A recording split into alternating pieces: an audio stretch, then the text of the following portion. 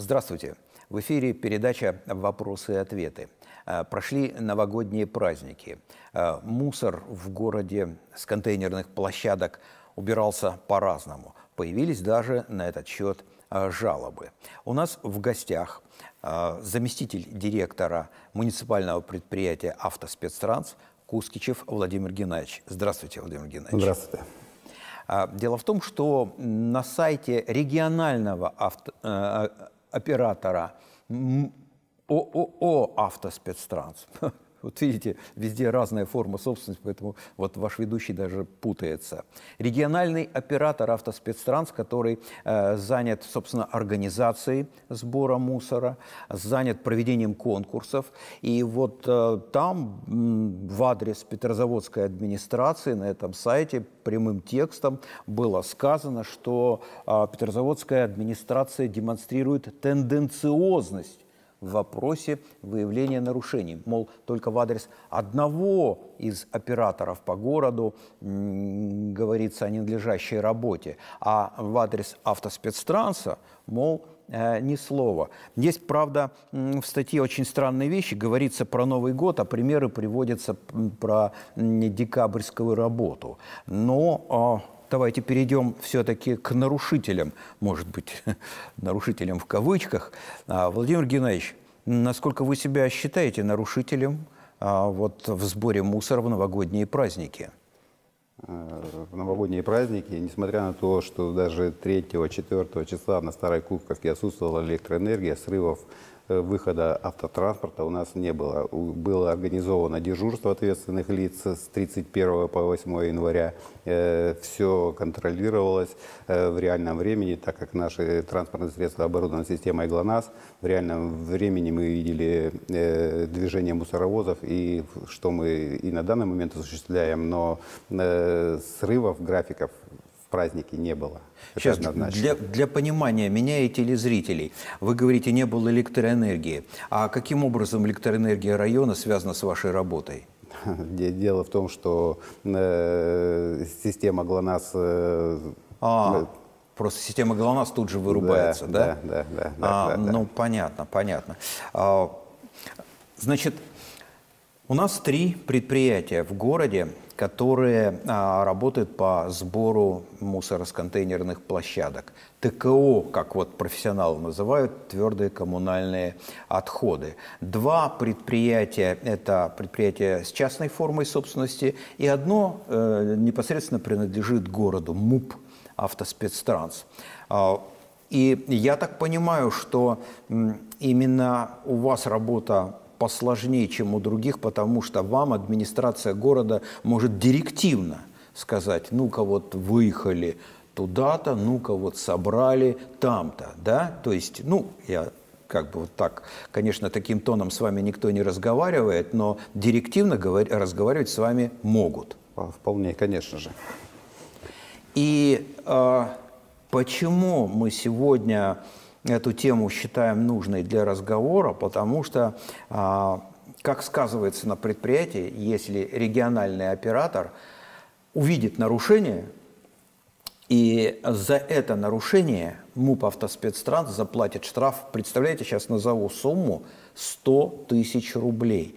То есть я, насколько понимаю, стоит э, собрать мусор, приехать, собрать мусор в районе пары тысяч рублей, да? Совершенно верно, да. да. Две, две тысячи рублей стоит услуга. Эта бригада приезжает в, э, в количестве водителя, грузчика. Там, грузчика одного или двух. А, значит, она должна подъехать, должна там эти 5-6 контейнеров... Э, а, Загрузить мусоровоз. Да, да под, чтобы мусоровоз еще и подошел. А вот, а сегодня, по сегодняшнему гололеду порой это даже проблематично. Проблематично. Вот. Так что даже вы, наверное, даже можете по своей системе ГЛОНАСС видеть о том, что ну, даже не подъехать, или, по крайней мере, э, сложно подъехать непосредственно к точке, и надо тащить контейнеры, а они, поскольку весят-то с мусором ваши контейнеры? Ну, вы, наверное... Приблизительно, если полные, около 700 килограммов весят контейнеры. 700? Да. А, без 300 килограмм тонна? Да, да, да, но они же на колесиках. Нет, но все равно тонна, слушайте, это, скажем, легковая машина весом. Да. примерно. Это вот нужно вот такую этим двум грузчикам э, тяжесть толкнуть, вписаться во временной промежуток, который по системе ГЛОНАСС у вас показывает, что э, машина работает тут, и то, что она хоп, и она там перестояла, это вот у вас тоже недопустимо. Да. Я специально эти мелочи все говорю, что э, люди могут как бы с, так, э, с непониманием отнестись. А за что там две тысячи? Господи, подъехали, выгрузили и все. Нет, это очень невероятно сложный процесс. А Вот. И за эти две тысячи, если а, люди не собрали, организация муниципальная не собрала, ей а, предъява, извините, не совсем за корректное а, слово, 100 тысяч рублей. 100 тысяч рублей. То есть вот в принципе а, вот эта, э, эта статья пахнет тем, что вы должны будете в суде встретиться с региональным оператором и заплатить ему вот такую красивую сумму. Совершенно верно. Но пока на данный момент прецедентов по городу Петрозаводска не было. Прецедентов выплаты Да, штрафа. да. Потому что вы умудрялись все мирным путем решать. Вы, Да. вы про это. Да. Вот. Хорошо.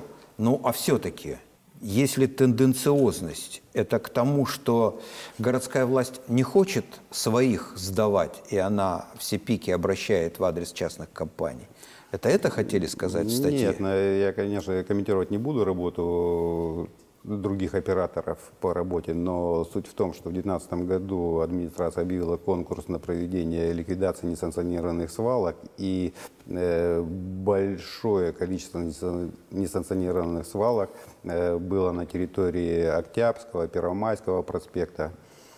Вот А таких- это, это чьи территории? это территория Актива Про. А вы выиграли конкурс по сбору а, выиграли конкурс по ликвидации несанкционированных свалок. Эти несанкционированные свалки находились у контейнерных площадок, в тех э, районах, которые я сказал. То есть те районы, э, контейнерные площадки, которые не принадлежат вашему оперативному ведению. Да, да, да. Но если вы выиграли конкурс, вы обязаны были этот э, мусор убрать. Совершенно, совершенно верно, да. Этот мусор мы убрали. Что вы и делаете, да? Да, да. А там какие, какие- какое временное э, сопровождение? То есть в течение какого времени вы должны убрать несанкционированную Но свалку? Конкурс, если мне память не изменяет, на 3 или 4 месяца, но мы его выполнили до 30 ноября, работы все были сданы. А скажите, а, а интересно, это работа убыточная, вот этот э, сбор несанкционированных свалок? Ну, скажем, наверное, так, э, если пройдет еще 3-4 месяца, будут объявлены субботники, в субботниках мы вообще ничего не получим. А так заработали. А так заработали. А, значит, еще раз объясним, что такое несанкционированная свалка. А, не все а, знают, но большинство, я думаю, имеет представление, что рядом с их контейнерной площадкой лежат старые, отжившие свой срок а, автошины. Лежит спил, там, Веток, кусты, ветки, деревья лежат рядом с контейнерной площадкой, буквально там в двух-трех метрах.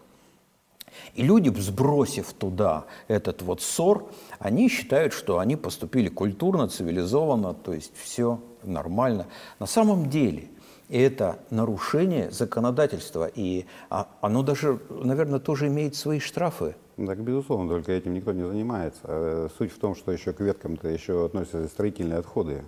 Строительные отходы, Да, там да, же. это беда. Дело в том, что такого вывозится ежедневно, а вот эти отходы, операторы, которых э, контракт на ТКО, имеют право не вывозить. Ну да, а вы уже обязаны, поскольку вы э, в- участвовали в конкурсе, и вы должны вывести эти э, несанкционированные свалки. Но те адреса, которые прописаны были в контракте, естественно, мы вывозили, да. Вот я не удивлюсь, что сидящий сейчас по ту сторону телевизора э, телезритель, скажем, удивится, неужели то, что я бросил колесо рядом с э, контейнерной площадкой, это является нарушением. Я не удивляюсь, что народ не знает, что он нарушает а, городские правила. Скажите, пожалуйста, а кто должен заниматься а, работой с населением и объяснять? Вот элементарная листовочка формата А5, повешенная там на доске, сейчас ведь очень все культурно, возле каждого подъезда. Можно вот это повесить и объяснить, что, уважаемые горожане, а, вот э, перечисленный там вот э, мусор не должен быть на контейнерной площадке. Ну и с каким-то хорошим, добрым текстом. Давайте быть цивилизованными там. Люди же у нас сегодня слышат эти вещи. Да, действительно, на самом деле это так. Ну, в мае прошлого года администрация города Петрозаводска организовала э, прием отработанных покрышек э, на территории нашего предприятия на Ватигорском шоссе и всем физическим лицам можно привести эти автопокрышки к нам на территорию с 9 до 18.00. Акция продолжается и э, в этом году. Э, по большому счету, это только физические лица могут. И понятно, что населению это не значит, что можно привезти 100 покрышек. Никто не хранит у себя в гараже 100 покрышек, чтобы потом привезти к нам в контейнер. Хотя, конечно, обра- хотя конечно. обращения есть и такие, что привезем на грузовой машине. Но это в основном там, где шиномонтажа. Владимир Геннадьевич, вы э, отвечаете на вторую часть вопроса, куда это вывести. На первую часть вы не ответили, кто не работает с населением. Ну, наверное, э, все несут за это ответственность, э, потому что контейнерные площадки находятся и на, те, на территориях управляющих компаний, которые тоже должны вести разъяснительную беседу, потому что в зоне ответственности чистота контейнерных площадок у них заключается. Они несут ответственность за Тот, тот как Слушайте, контейнерной площадке. Я, признаться, ждал другого, другого ответа. Можно я за вас скажу, а вы скажите, насколько корректно я или нет. Вот я же держу перед собой текст а, на сайте регионального оператора. Если да. региональный оператор занят организацией сбора мусора, разве это не его работа? Ну, давайте уточним, региональный оператор по работе с твердо-коммунальными отходами, автопокрышки, строительный мусор, спил деревьев не относится к данному виду отходов. Поэтому он несет, э, не несет ответственности за это. Да, но он же предъявляет претензии по поводу э, вот этих несанкционированных свалок? Э, региональный оператор по этому поводу, по, несанкционированному, по содержанию контейнерных площадок он предъявляет требования к администрации Петрозаводского городского округа. А, он по поводу спила и покрышек ничего не говорит? Нет, да? нет он и говорит содержание так как это не твердокоммунальные отходы, этим должна заниматься администрация. Значит, под содержанием имеется в виду наличие несанкционированной свалки рядом. Ну, вполне ну, возможно. Но слушайте, что, казуистика получается. Нет, несанкционированные свалки по твердокоммунальным отходам ответственность несет региональный оператор. Он предъявляет требования к э, местным администрациям. Это мы не говорим сейчас про город Петрозаводск, также есть и Принежский, ну, э, Республика Карелия, предположим, да. Мы не берем несанкционированную свалку в Петрозаводском городском округе. Нашли в районе местной администрации, если это твердокоммунальные отходы. Я так понял, что вот эта статья относится исключительно по Петрозаводскому городскому округу. Ну, здесь да. Эта статья да. Потому что говорится, что вот администрация Петрозаводска тенденциозно относится то есть как бы э, лояльно к своему оператору и менее. Ну хорошо, а скажите, вообще вот три оператора в городе работают, э, вы находитесь в состоянии конкуренции или нет? Э, на данном этапе нет. Нет, у каждого свой участок. У каждого ну, город Петрозаводск на три части поделен по количеству. Три равных части? Нет, э, половину вывозит ПМУП автоспецтрасс. МУП. А, то есть вот вы работаете с половиной да, да, а, да. участков, и другая половина распределяется уже между Ну, там тоже не поровну, там какое-то отношение есть, но по половине. То есть у вас не конкурентные взаимоотношения, а можно сказать больше, что у вас товарищеские взаимоотношения, что вы подставляете плечо друг другу, если... Ведь складывается же, наверное, ситуация, когда надо э, там, ну, я не знаю, ваша Вольва вдруг сломалась и нужен... Ну, диалог ведем с операторами, да. Они обращаются за помощью, мы обращаемся за помощью, идем навстречу друг другу. Да, бывают такие моменты. Ясно. Это хорошо, для нас, наверное, плохо. Конкуренция нам нужна. Потому что так все будет дешевле. Спасибо большое, Владимир Геннадьевич. Э, вопросы и ответы были в эфире. Повторюсь, в студии с нами работал заместитель директора муниципального предприятия «Автоспецтранс» Кускичев Владимир Геннадьевич. Мы говорили по поводу уборки мусора, а, ну вот в новогодние праздники и вообще о правилах уборки мусора с контейнерных площадок. На этом сегодня все. Спасибо. Спасибо.